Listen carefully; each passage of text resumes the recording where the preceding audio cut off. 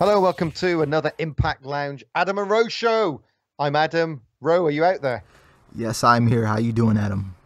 Yeah, fantastic. Uh, it's been a slow week on the old news front this week with regards to Impact.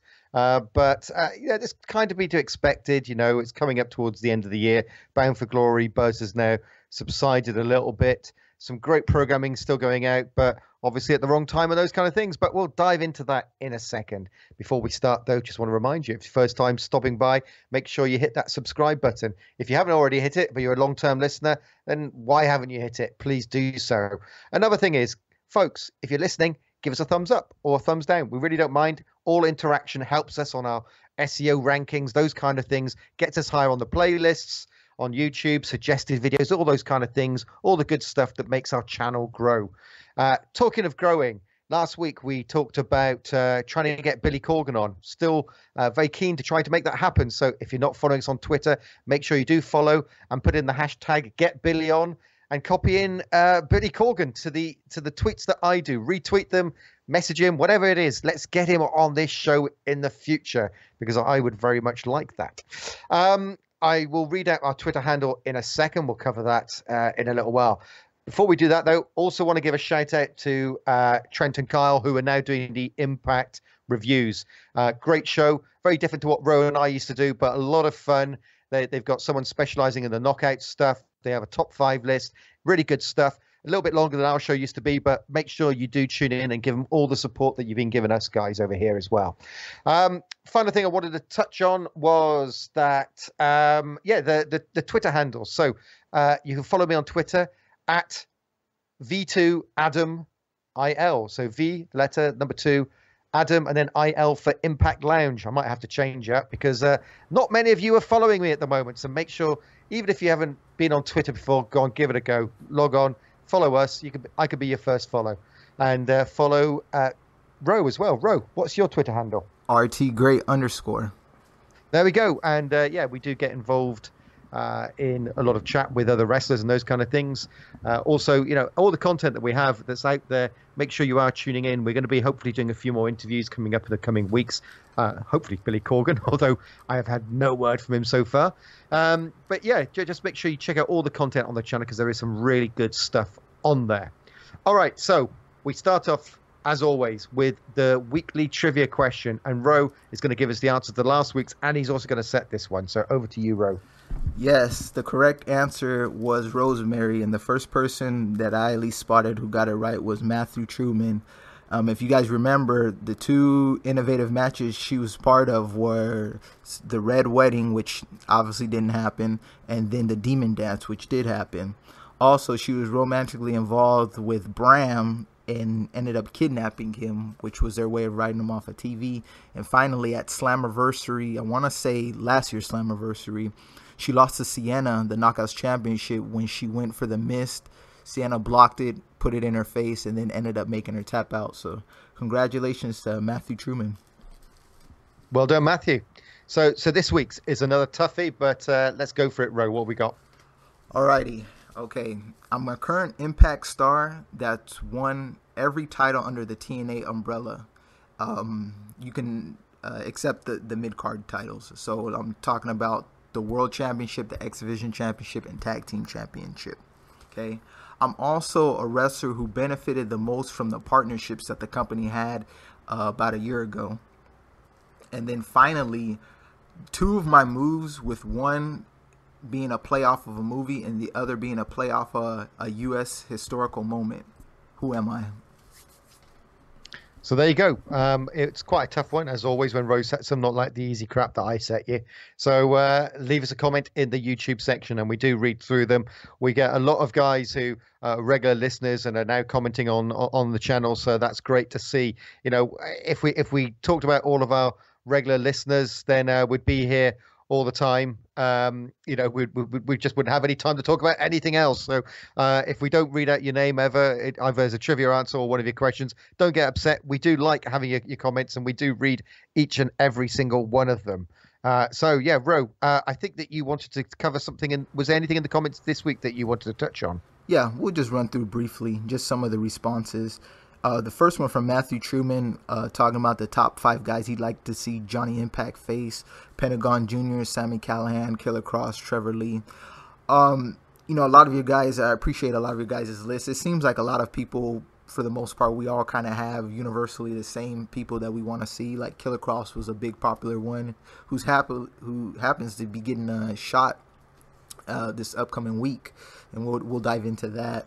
Also, um, the J Rock freak, he, I guess he was in agreement with me about the Austin Aries. You know, whether it's a work or it's a shoot.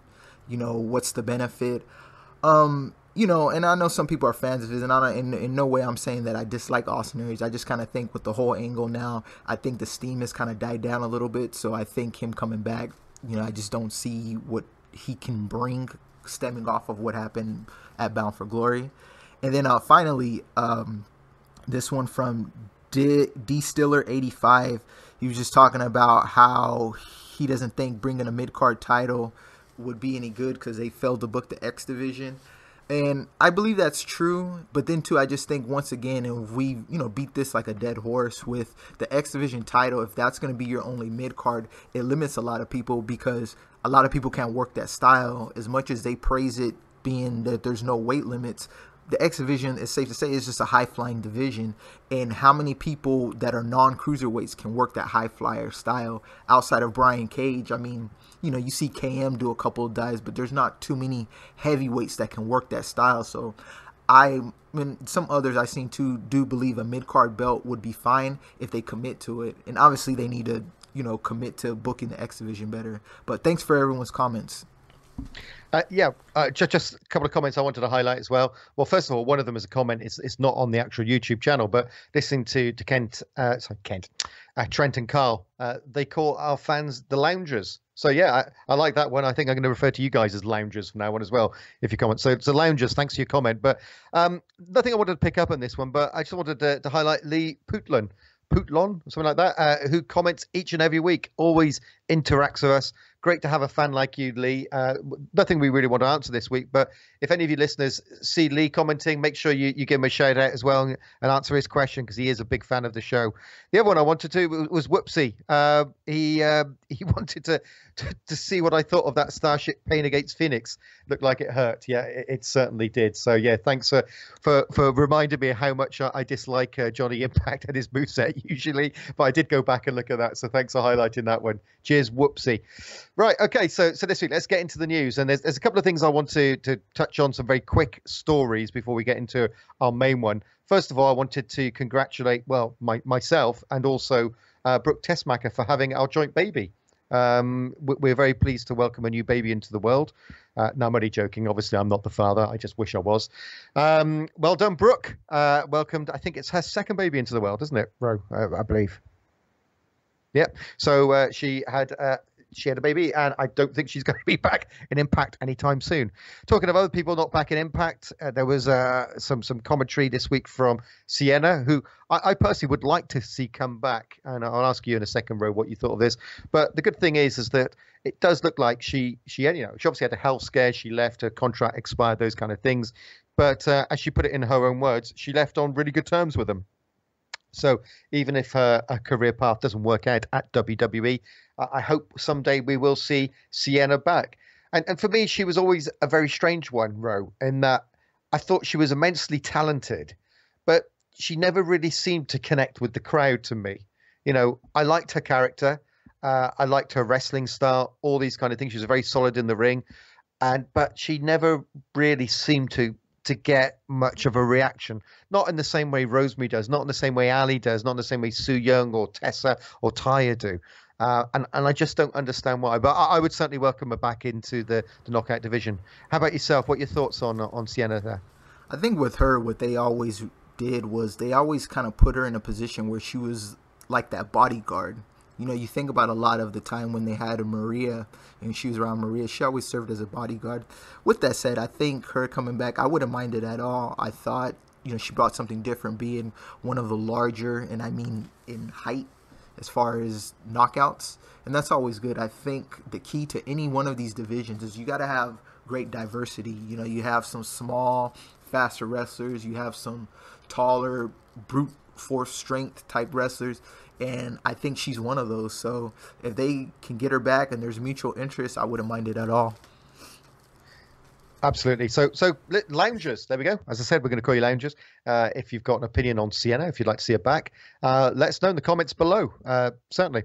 So let's move on to the, the main story for me of the week that came out, and uh, it's not a impact story, believe it or not, but it's in as much as that it's not an impact story for me the biggest part of it is impact related. So, what the hell am I talking about? Why am I trying to riddle you there, uh, Ro? I sound like the Riddler, don't I? Coming out with uh, some concoction to get to the point. So, I'm just going to come out with it. The PWI Women's Wrestling Top 100 came out this week, and number one was Ronda Rowdy Rousey, Rowdy Ronda Rousey. I can't even say it. Anyway, it was it was um, uh, Miss Rousey, and she was labelled as number one. Now, that in itself, I don't have a huge problem with. I don't think she is the best wrestler in the world, far from it.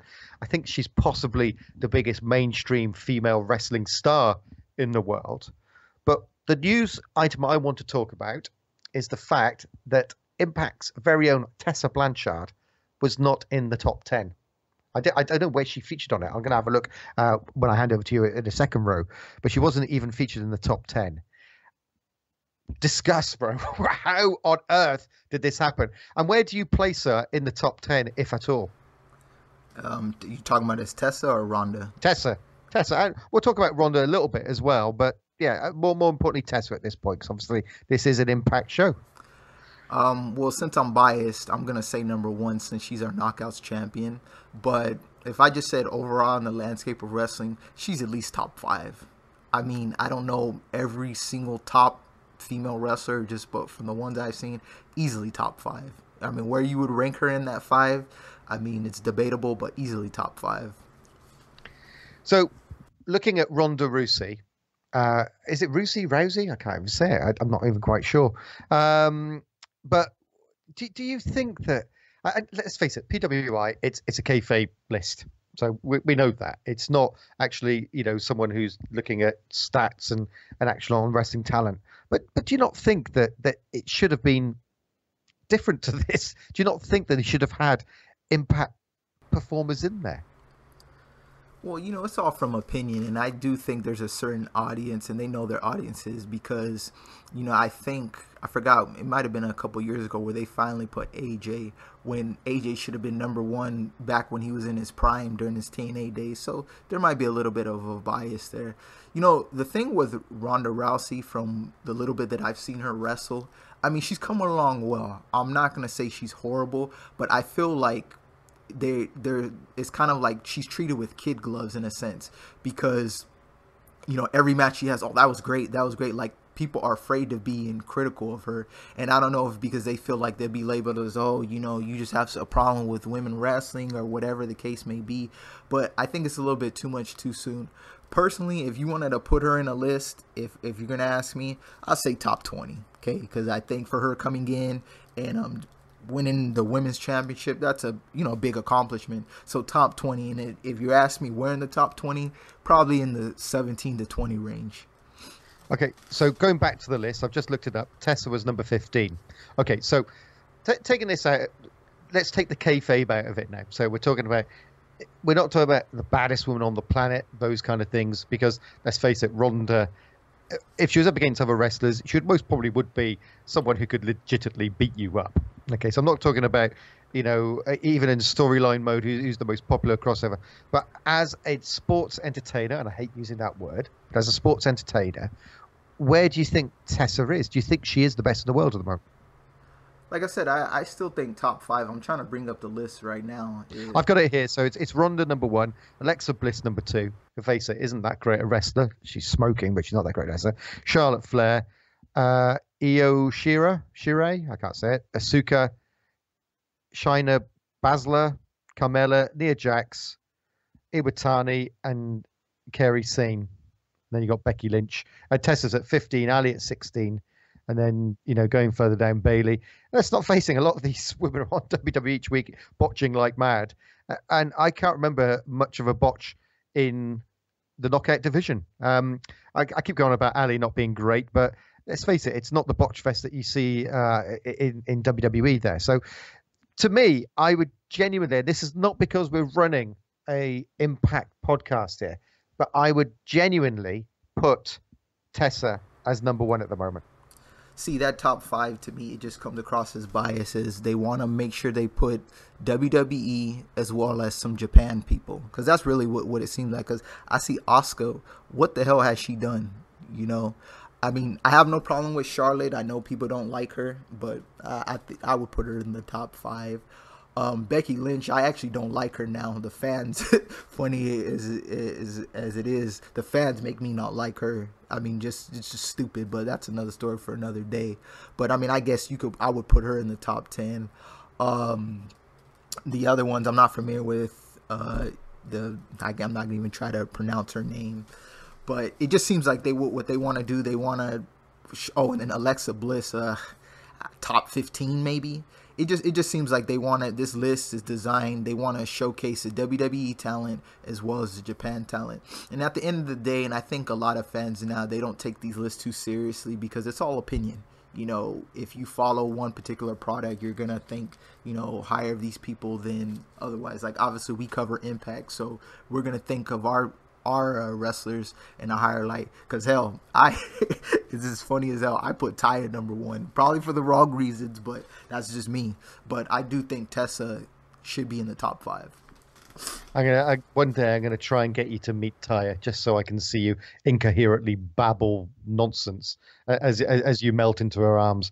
Anyway, um, yeah. So so going back to this list, and, and I'm going to be fair to Ronda because she is actually very good. And you know, when she was let off the leash and to do her own promo the other week, it was a very good promo. But for me, wrestling ability, heat generating, ev- everything about Tessa is absolute star. And, and we often talk about you're only as good as your opponents, and maybe that's where Ronda. I feel is most probably below where Tessa is, is because she hasn't had anyone good to go up against. You know, so look, I, am not. Uh, my problem isn't with who's number one or who's number two, who's number three. Well, number two is crap, but um, you know whether they're they're on this list. What what bothers me is the fact that Tessa is number fifteen. And I think that's just blatantly wrong. Okay, um, whilst we're talking about top lists, um, do you know who the best wrestler in the world is right now? Yes, that's right. You got where I was going with this. Well done, Shane McMahon, for finally proving you're the best wrestler in the world. Uh, it's it's long overdue, and it's good to see you put in all those years of hard graft and effort. Uh, so well done, Shane, on on winning uh, the best in the world title at WWE Crown Jewel yesterday. Right, uh, we're running out of time very quickly. So so Ro, I believe there's some other things that you wanted to cover. Yeah, my main thing is just expectations for Final Hour next week. And I just want to zero in on one particular match, and that's the main event, um, we're assuming, which it has Killer Kross challenging Johnny Impact. Now, the past couple weeks on Impact, they've been doing a great job showcasing Killer Kross, making him be a viable threat to Johnny Impact's uh, Impact World Championship. And I just wonder, and before I get your thoughts, and listeners as well, you know, the expectations. You know, I'm hoping this not isn't just kind of like a, a one go for Killer Kross because I do think down the road he has world title potential. I mean, champion uh, championship holder potential. So I'm looking forward to seeing how this match goes, how they pretty much lay out the match. I mean, are they going to showcase his strengths? And obviously, you don't want to make the world champion Johnny Impact being weak, but I, I really have high hopes for this match, and I hope it goes over well. And I'm assuming or not, not some assuming, I'm predicting that Johnny Impact's going to retain, but I really hope this kind of just gives Killer Kross an opportunity to make his mark in the main event scene and down the road potentially grab that Impact World Championship. Yeah, absolutely. I mean, I think anyone who listens to this show, whether it's it's the the, the Impact review uh, whether it's any of BQ's stuff. Everyone knows that all five of us on the Impact Lounge channel are regular, you know, um, podders. What do they call us? Podcasters. Um, we all love Killer Kross and we think that he is doing absolutely outstanding work. Not only does he look like a physical monster, as in, uh, not only physically but also mentally. Uh, he's, he's just an incredible character. So I think we'd all like to see him as a champion at some point. It's just that it feels too soon for Johnny to lose it, and, and that's the problem. So it, this isn't a, a title match, is it? Yeah, no, it is. It is. Oh, it is a title match, right? Okay. Uh, so this has it. Well, once again, sorry to ask all these questions. Right? Has this been recorded, or is this on the next tapings? No, it's uh, it's been recorded. So, and, and that's my thing. Before I uh, let you finish, my only criticism is I kind of wish that for this particular matchup they would have had more weeks to build towards it because it's been a two week build and they've done great building it for the past two weeks. Personally, I, w- I wish this could have been something that they could have dragged out to homecoming because then I really you'd think you'd get a whole lot of promos and back and forth, and I really think it would have been solid. But uh, for the two weeks that they've done, it's it's been fantastic.